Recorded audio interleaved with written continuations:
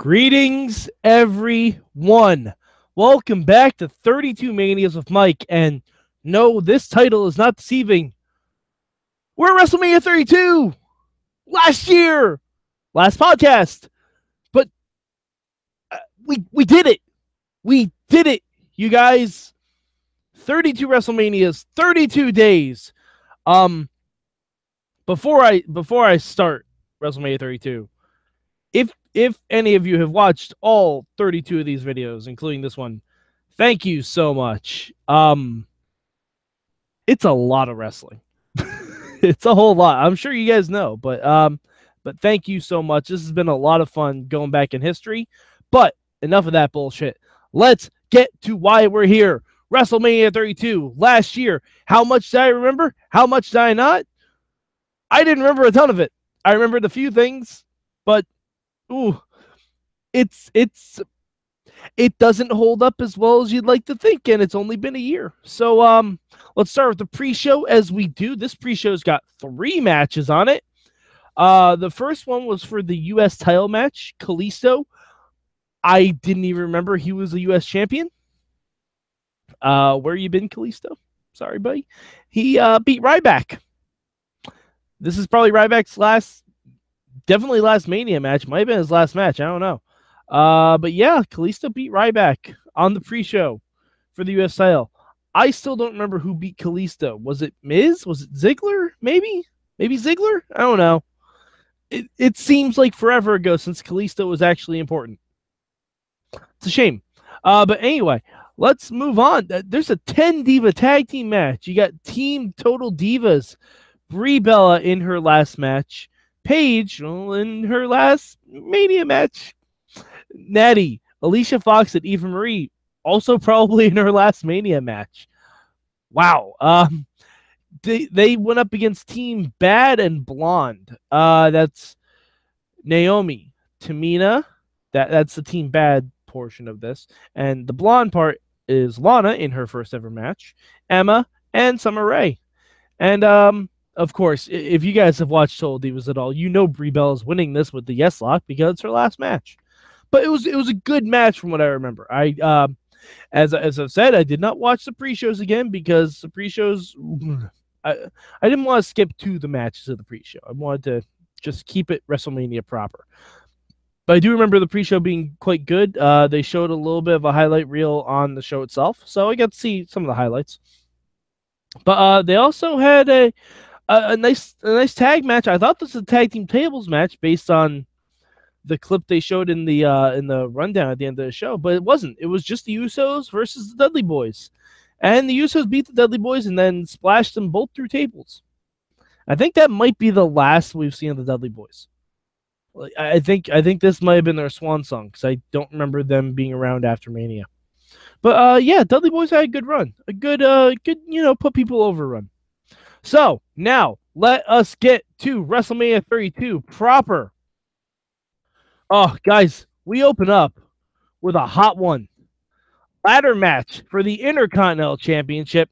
Kevin Owens, Sami Zayn, Dolph Ziggler, Stardust, The Miz, Sin Cara, and Zack Ryder. Supposed to be Neville. Neville got injured.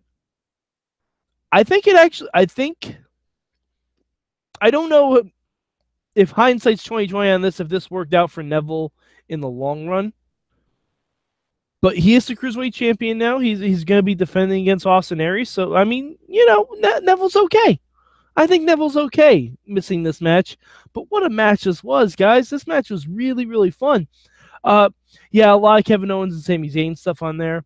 Yeah, Stardust pulling out polka dot ladder. Rest in peace, Dusty.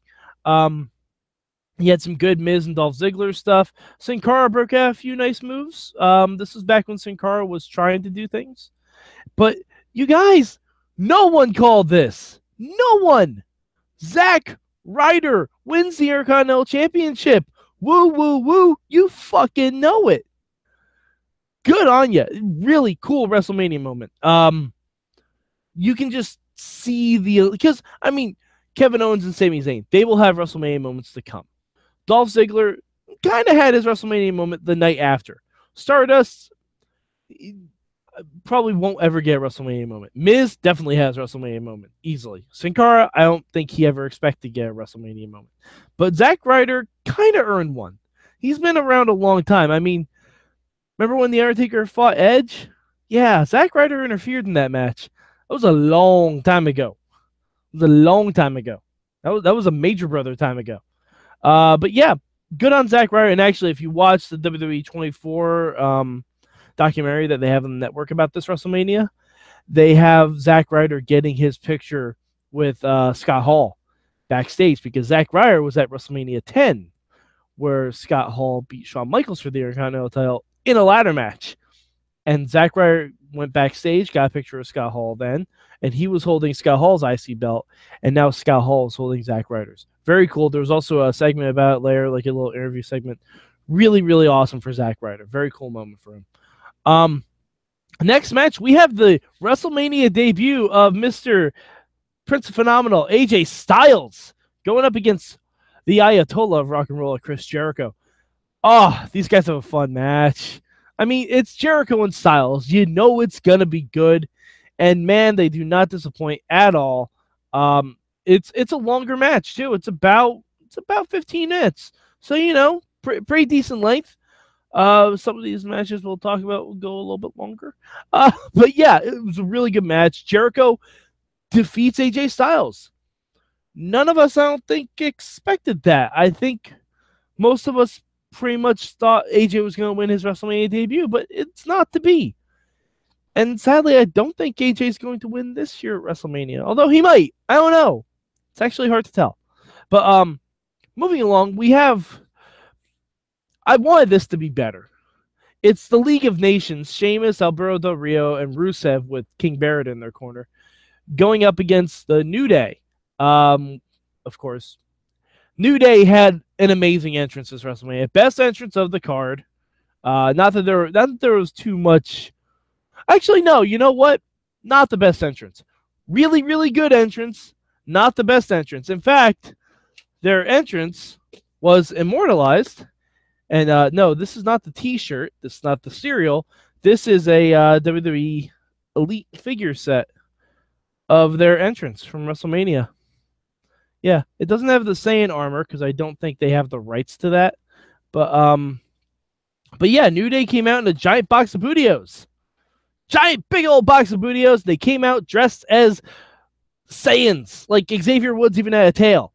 Uh, it was really awesome. Um, props to Michael Cole for pretending to know what Dragon Ball Z is. Uh, but yeah, uh, they had, they had a short match. It was fun though.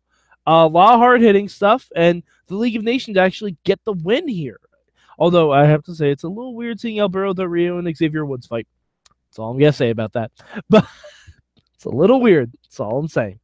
Um, but yeah, it, it was a fun match. Uh, the numbers, the New Day. This was the only time really New Day was hurt by the numbers game because of King Barrett on the outside. It was a bullhammer into a Brogue Kick basically that cost the New Day to lose. But luckily for them, this was not a tag team championship match. Shocker. Uh, so I basically told you League of Nations is probably going to win. All right, uh, moving on. This this is a this is a match that should have been better. Um, the no hold barred streak fight, Brock Lesnar versus Dean Ambrose. I I've seen Dean Ambrose in street fights. Dean Ambrose is very good in street fights. I've seen Brock Lesnar in no DQ matches. Brock Lesnar can be very good in no DQ matches, but for some reason, these two guys just didn't gel. Not sure what it is.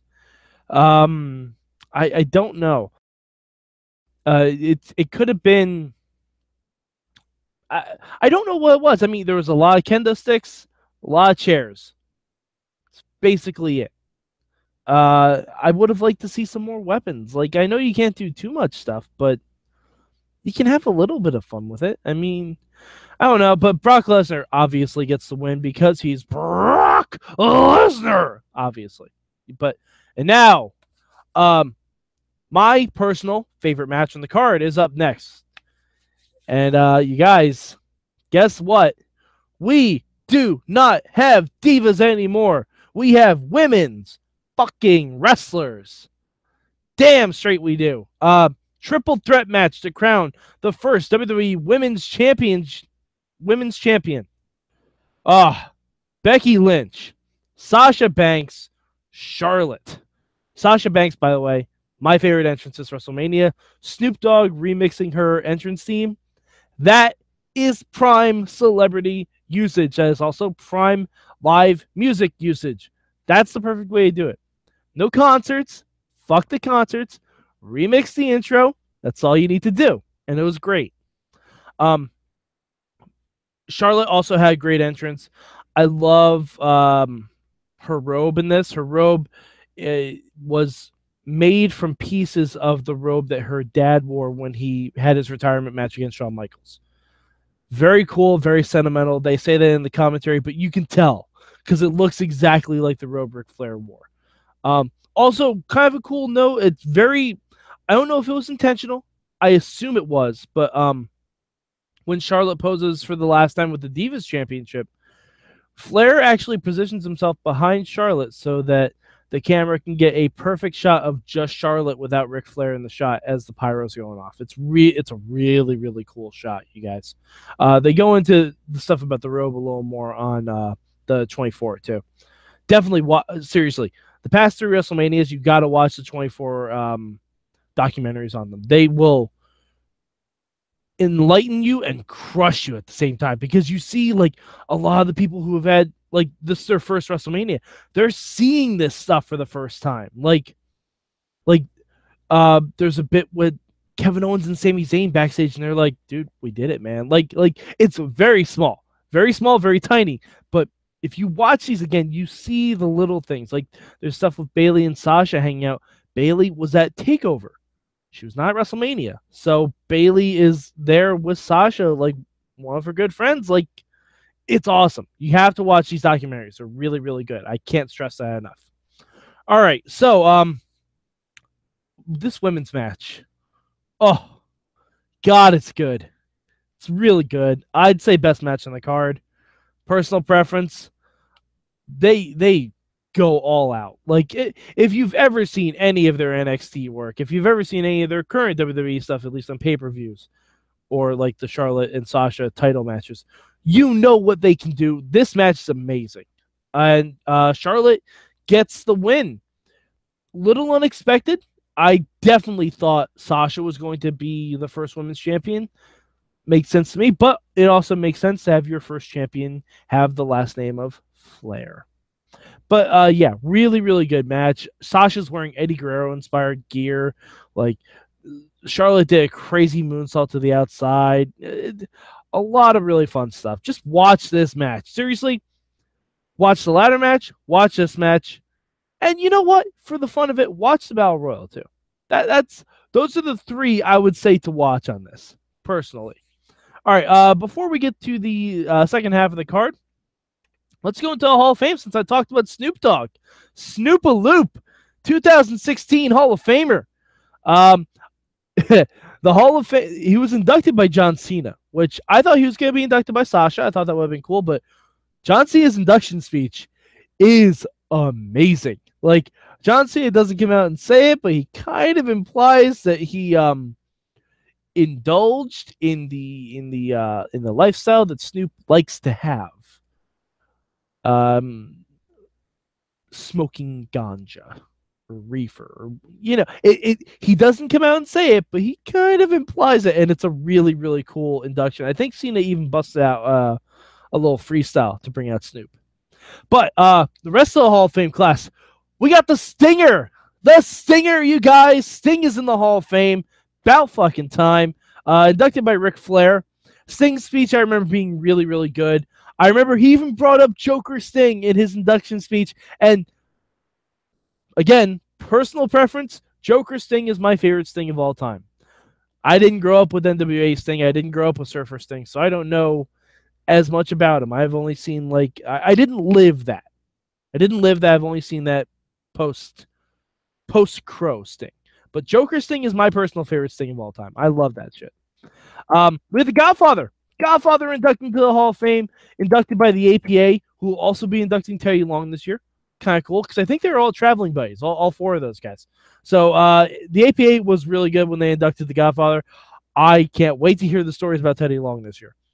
Um, Big Boss Man was inducted this year, inducted by Slick.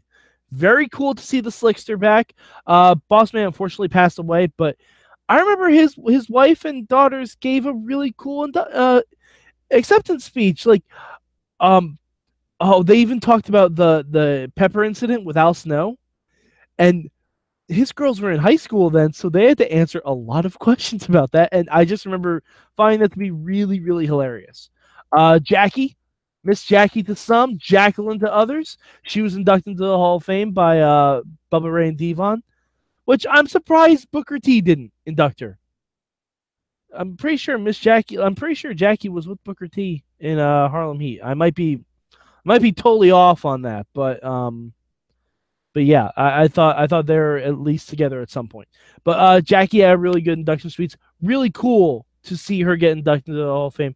And um, Wikipedia is telling me she's the first African American woman inducted in the Hall of Fame, which is cool.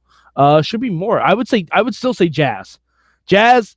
If you guys have watched my um my uh videos from 18 to uh 18 and 19, Jazz kicks ass and is vastly underrated in her uh, role in the women's division. But uh, also Stan Hansen. Stan Hansen inducted this year in the Hall of uh, last year in the Hall of Fame. Really, really cool. Uh, gave a gave a decent speech. I don't know too much about Stan Hansen, but he he gave a good speech from what I remember. And of course, the fabulous Freebirds, Michael P.S. Hayes, Terry Bam Bam Gordy, and um, uh, Buddy Roberts, Jimmy Garvin, also inducted. Um, of course, Terry Gordy and Buddy Roberts are posthumous. They've unfortunately passed away. But Michael Hayes and Jimmy Garvin tell some stories, man. Oh, like they tell some stories. Oh, if you haven't watched that induction speech, you need to watch that induction speech. Some stuff I didn't think they'd allow through the censors, but apparently they did. Uh, really, really fun stuff. Uh, we also had the Warrior Award again this year, um, last year for Joan Lunden. Uh, she was uh, she was presented to it by Dana Warrior, big cancer survivor, big woman, a big spokeswoman for Susan G. Komen. So I mean, awesome, awesome for her. Uh, she gave a good speech too. You know, really happy to be there and everything. And uh, also in 2016, they did something a little bit different. I don't know if they're doing this again this year, but um, they did what is called the legacy inductees.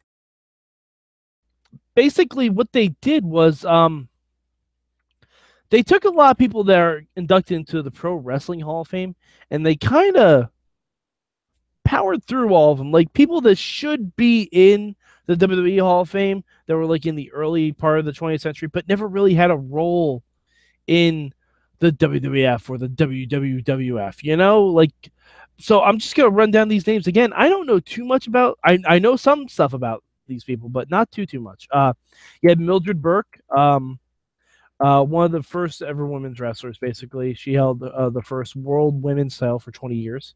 Frank Gotch, of course, everyone knows Frank Gotch. Um, uh, George Hackenschmidt, the first ever world heavyweight champion, uh, NWA world champion. Ed Strangler Lewis, um, big, big name in the NWA. Most of these guys are big names in the NWA or the AWA.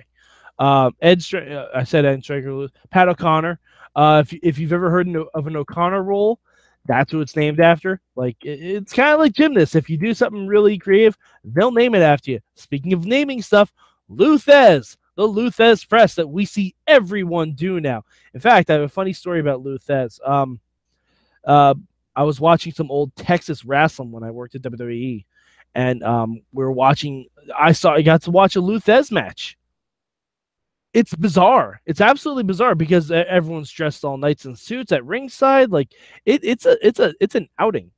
Um, not a lot of like catches catch can, not a lot of punching or anything like that. And uh, Lou big move I saw him do a lot was a pile driver. Now there was one guy I saw him wrestle. Uh, he went to pull him up like the stump puller pile driver, like Jerry Lawler used to do.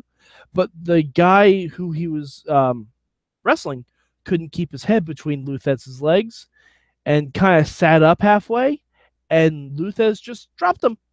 right, right on his the back of his head and his neck and his shoulders, and basically, at least everyone I was working with and my managers there, we all kind of agreed that that was the first ever power bomb. The first ever power bomb was done by Lou So that's uh, at least the first ever one because this was back in 1957. So I'm pretty sure that was the first ever power bomb. So uh, you know, a little bit of trivia for you guys. And also uh, Sailor Art Thomas was billed as um, one of the first African American wrestlers, and he was he never won the NWA title, but he fought for it a lot. Uh, but yeah, so that's pretty cool. Like the legacy inductees. I wonder if they're going to do that again this year. I have no idea if they're going to. I don't know who else they would throw into it, but it'd be interesting to see if they do it again. All right. Uh, so back to the card at hand. We have the second ever Hell in a Cell match at WrestleMania, and you guys, uh, it's the Undertaker versus this man, Shane O. Money. These actually dropped from the ceiling at WrestleMania 32. How did I get one, you ask? Did I go to this WrestleMania? No, I didn't go to Dallas. I would have loved to, but I did not. I actually won this in a wrestling trivia contest right here in Poughkeepsie from two people who did go to WrestleMania. So yeah, uh, they dropped a lot of these at ringside uh, during the during the main event. You can see a bunch of them just crumpled up on the floor because they dropped a lot of these things. But it's still kind of cool. Like uh, says in Shane we trust has uh, WrestleMania 32 04 03 16. It's got the uh, it's got the um, the date there like written like currency. So you know it's pretty fun. But ah, this is a fun match, and it's weird looking at this again because the stipulation was if Shane won, he would gain control of Raw, and The Undertaker would be banned from competing at WrestleMania. If Shane lost, nothing happened? I don't know. But Shane lost, and he ended up controlling Raw for a little bit, and then we had the draft and all that stuff. But um, this match, whew, they Shane is insane. Shane Undertaker just beats the shit out of him for the majority of this match. Uh, it's a little too long. It's a it's over a half hour. Little too long for my taste. Would have liked to see this go to maybe the ladder match or the women's match or something else. Um, but everyone knows what this is remembered for. Shane jumping off the renovated Hell in a Cell. It's still like I I just watched Shane on SmackDown. I know he's okay. It is still frightening to watch. It is super frightening to watch. But uh yeah, it, was a good match. It's a good match. Don't get me wrong. Shane's match with AJ Styles is gonna be good this year too, but a little too long, a little too long for my taste.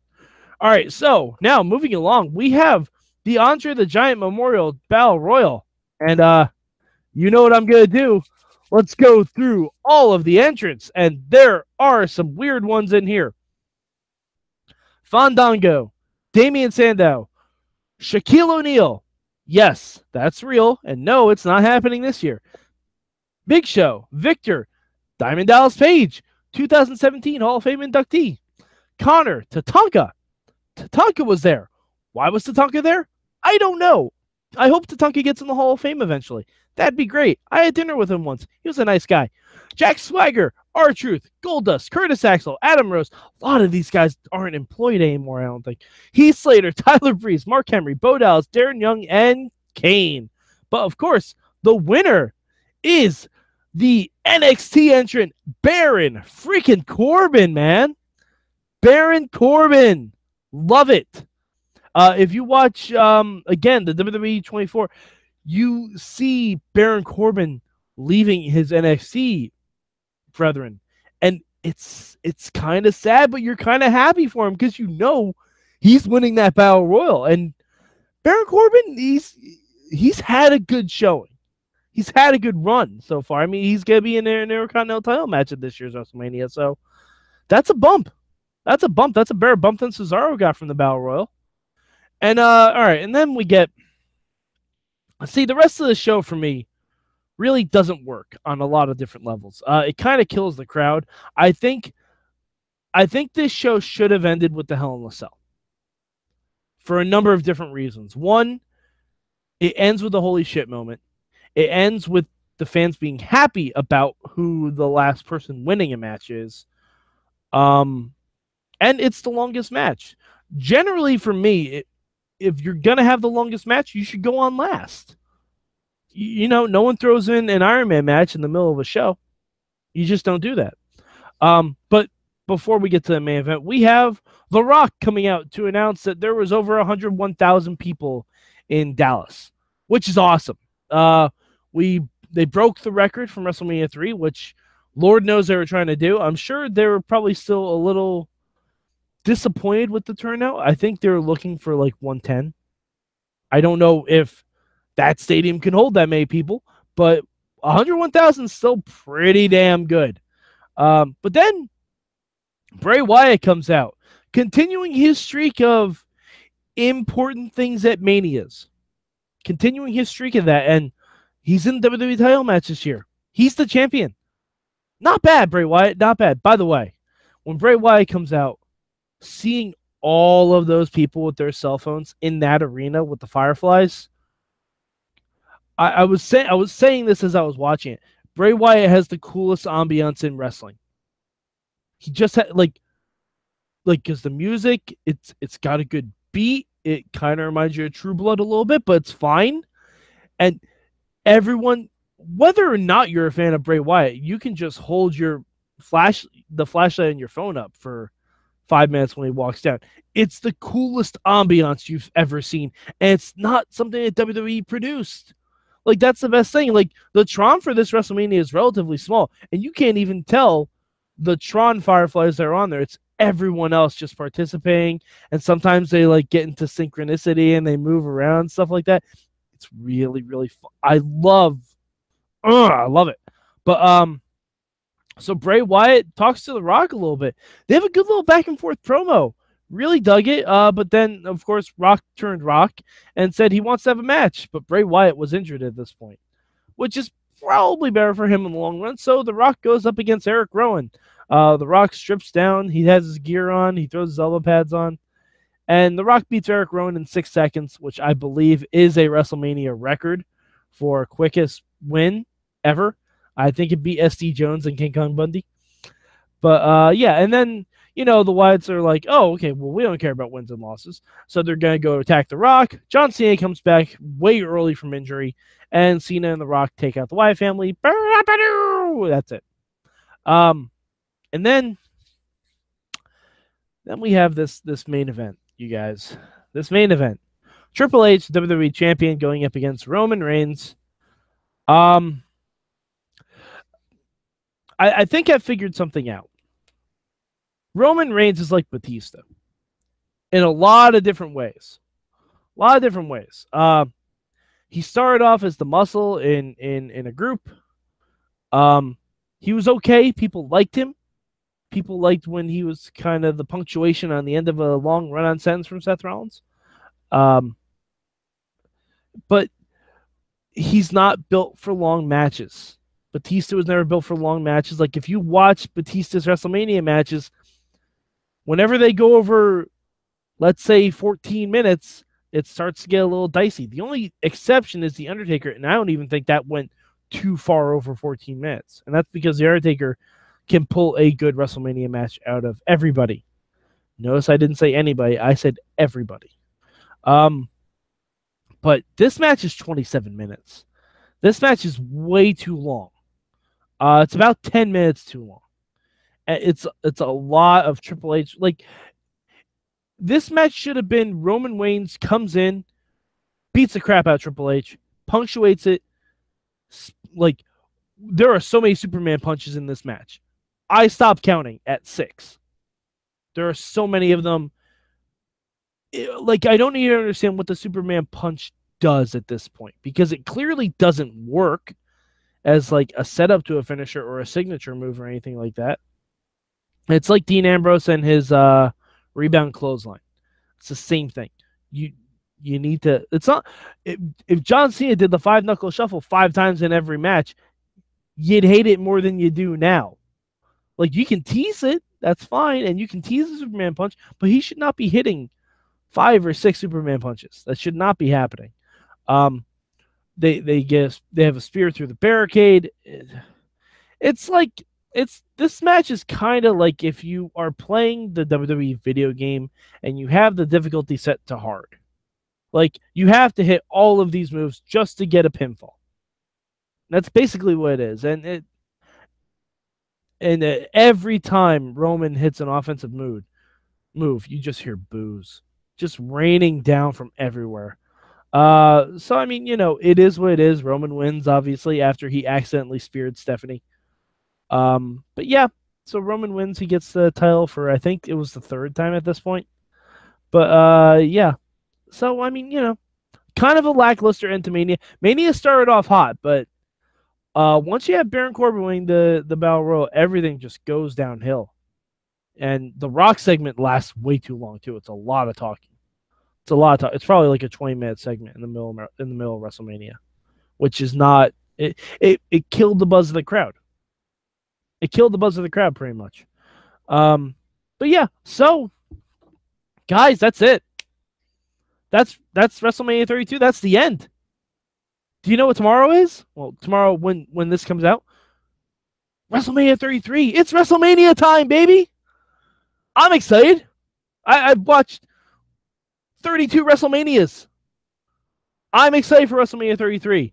I don't know if I'm gonna like it, but I'm excited for it, and I think you guys should be excited too. I hope these videos have a- have been able to help you guys get in the mood for WrestleMania. Uh, so if you have any WrestleMania questions at all, feel free tweet me at MadMike4883. Uh, hit us up on Facebook, the Wrestling Mayhem Show Facebook group. Hit us up on Twitter at Mayhem Show with the hashtag MM. Or uh, hell, if you have any thoughts about any WrestleMania, including 33, email us good times at WrestlingMayhemShow.com. We will read them on the air. We will answer any questions you have. We'll we'll talk about whatever you want to talk about as far as WrestleMania goes. So yeah, um, so this is for for Mad Mike for for every WrestleMania I've watched. Uh, that that's that's 32 manias of Mike, and uh, thank you guys very much.